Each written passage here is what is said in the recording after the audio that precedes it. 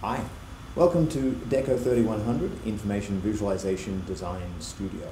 I'm Kaz, I'm your lecturer, and over the next semester we're going to learn what is data visualization, why you, a designer, should get good at it, and a third one that I have forgotten. What is data visualization, how to get good at it, and why you, a designer, might want to do that. But before we tackle that, I'd like to take a moment to acknowledge that I am standing on Gadigal land here at the University of Sydney's uh, main campus, and I'd like to acknowledge that this is the, they are the traditional owners of this space and that this land was never ceded. I'd like to recommend that you take a moment to think about the traditional owners of the land you're on, wherever you are in Australia or elsewhere in the world, and recognise the knowledge and custodianship of those people in that place. First, though, a couple of practical things. Classes on Mondays. The timetable says we're going to start at 9 a.m., but I actually want us to kick off at 9.30. You're welcome, extra half hour sleep in for everybody, with a question and answer session with me on Zoom. The reason for that is I'll be putting up videos like this one that you can find here on Canvas or on YouTube that will be covering the majority of the content for the course. It doesn't make a whole lot of sense for me to be doing the telling you stuff bit live. We can do that pre-recorded with a chance to edit and take out my stumbles and silly bits. And then we will still have the benefit of a question and answer session every week uh, in Zoom uh, before the start of the tutorial. So 9.30, it'll probably only run 15, 20 minutes, depends how many questions you bring, uh, to get us started with a Q&A, get a bit of interactive stuff going, and then from 10 to 12, you'll have your tutorials, either on campus or remote, depending on which cohort you're enrolled in, a lunch break, and then from 1 to 4, we have our studio time. The class is structured just like the design studios that you would have done before, where we have tutorials which are primarily about skills and exercises, followed by studio time that is primarily about working on your major projects. More on those later. So, you might be interested to know why you're learning about data viz, seems like a pretty science, tech, computer sciencey thing, in a design degree. The world has changed immeasurably in living memory. Let's have a look at the relationship between income, life expectancy, and your country of residence, starting arbitrarily the year my grandmother was born. You see, there's a huge difference between a small number of rich countries and a huge group of less developed countries. But over time, over the last six, seven, eight decades, that has become a continuum of more rich and less rich with a much smaller gap in between them what used to be a story of haves and have-nots has over time, through technology, through information, become a story of have-somes and have-mores. The truth is that the difference between the richest and the poorest countries has gotten less in living memory. It is a huge success story. There have been some little pickles along the way and everything is not roses. And we'll have plenty of time to engage with that here in this class. We don't shy away from the unpleasant. But the overall story is that the life of the average human has gotten substantially better. And it is technology, and it is information technology in particular, that has driven much of that change. But it, it's had some pretty astonishing disadvantages too. As a result of all of that mechanization, as a result of all of that industrialization, globalization, information revolution, we live in a world that is now more polarized than it has ever been before, with our filter bubbles, with our closed social networks. There's no longer even the same source of truth. You might think that that's a relatively recent phenomenon, it's certainly something that people have been paying a lot more attention to in the last five, six years. But there's plenty of examples from before that as well.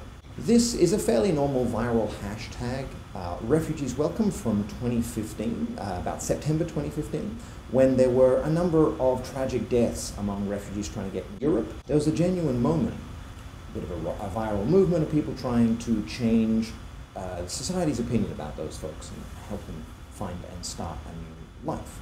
Unfortunately, about a month later, the discourse around this hashtag changed for the worse. Because a month later there was a tragic terrorist attack in Paris, and a certain group of people, racists, blamed that terrorist attack on immigrants. And they said, this is what you wanted.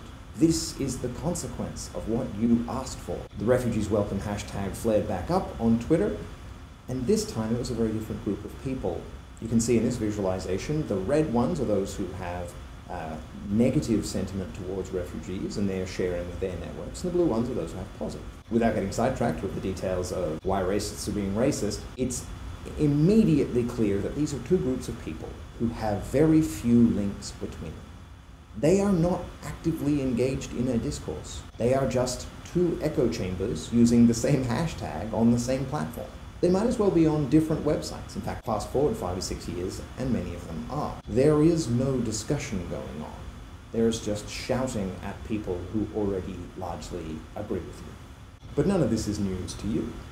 Your generation, and here I'm making a number of assumptions, apologies to any mature age students out there, understand that technology, that data, that platforms, that big tech are not a good thing. The, the, Silicon Valley dreams of my childhood have, as is always the case, brought with them a host of new problems. You know that computers didn't solve all of our problems like we were promised. They just created a whole bunch of new ones that were intractable, that were messy, that were almost impossible to even get your head around. And that is the role of data visualization. Take climate change, for example. This is a Sankey diagram, we'll learn more about those later on, of how energy is produced and consumed in the US. I could only find good US data, I'm afraid.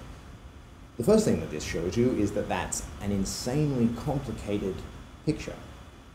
But the second thing that you can see is even the things that we think of as huge contributors to carbon emissions, to climate change, are actually only one slice of a very big, very complicated pie. Let's look at that purple ribbon, for example. That purple ribbon is cars. You can see it comes from over the left, petroleum that is produced and distributed, so in other words, fuel, it's not used for making electricity or anything. And then it is about 27.5% of energy use in the USA. So that means if we could get every single car changed to an electric vehicle, that would only be a quarter of the energy use. You have to also consider that another quarter of the energy used in the US is industrial, and another 11.5% is residential, sort of 9-ish percent is commercial, and so on and so on. You can also look over on the left and see that, at least as of 2017, this is the latest data I could get, renewables represent a tiny fraction of energy produced in the USA. Of course, things have gone a little bit better since then, but it's still nowhere near a solved problem. Changing your own behavior is good, simple slogans are useful, but at the end of the day, it comes down to incredibly complicated, data driven decisions. Because data is the language of these insanely complicated problems that we find ourselves confronted with more and more. Data visualization. You, as a designer working on data visualizations, can take these ridiculously complicated problems and carve off just a slice and maybe try to make them a little bit more transparent. But at this point, you might be asking, why me though? Isn't data viz something that engineers and scientists do? What if I, an interaction designer or a service designer or a product designer, got to offer this field? Why me? Well, the first thing I'd say is that, yeah, data viz is something that scientists and engineers do, but so is sketching. So there's no problem if those skills are shared across disciplines. But the actual answer is that as soon as something needs to be understood by someone else, as soon as the purpose of the visualization is to communicate to a non-scientist, to a non-engineer, you need a designer. Communication is a design problem, and communicating with data is done through this kind of visualization. Your skills, interaction design skills, human-centered design skills, are the skills that data scientists and engineers need to take this ludicrously complicated stuff and change anyone's mind with it. And we are going to need to change an awful lot of minds. So that's my argument for you today. Data viz is a design problem, at least as soon as you're making your visualization for anyone but yourself. The key principle of any design problem is simplicity, right? And that's the same for data viz. You need to make things as simple as you can, but no simpler. I think that one might actually be an Einstein quote. The way to make something complicated simple is the same as for everything else. Understand who is going to use it, understand what they know, and then understand how to package the information in a format that helps them achieve their goals. It's design. Not convinced?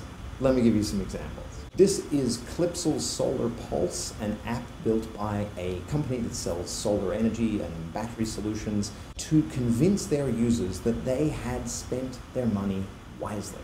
This doesn't just help you monitor where your energy is currently coming from. Is it coming from panels? Is it coming from the grid? Are you charging up your battery, etc.? It does all those things. You can see on the left there, you can see like where's the energy coming from and where's it going to.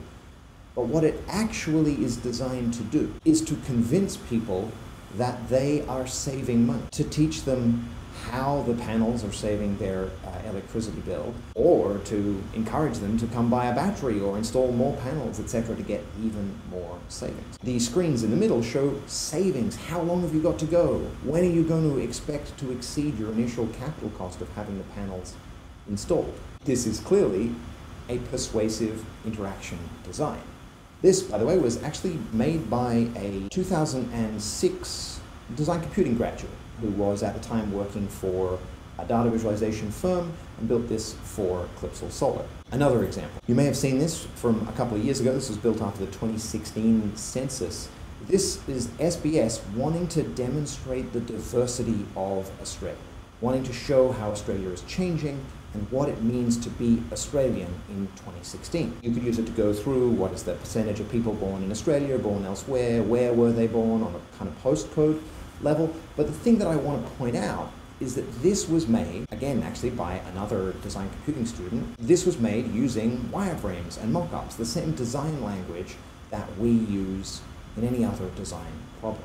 If you want to convince someone of something with data, if you want to change their mind, or if you want to explain something to someone, if you want to teach them with data, then you're going to need to think like a designer. It's a combination of human-centered design and data analytics that are needed to get the job done. And that's what we're going to learn in this subject. Along the way, we'll learn just enough about data and analytics to get by. We'll even take a peek into the wild and crazy world of AI so you're not blindsided by anything happening there. And we'll teach you to walk the line between talking about the data and talking about the people. I'm super keen. I'll see you in the Q&A session at 9.30 on Monday morning. And I encourage you to watch the other videos in this first week's series that talk a little bit about the history of data viz and also some super important practical policy stuff that you always need to know when you get into any subject. I'm just editing this video and I recognize now that there are some huge troubles with the audio. We will get that fixed for next week.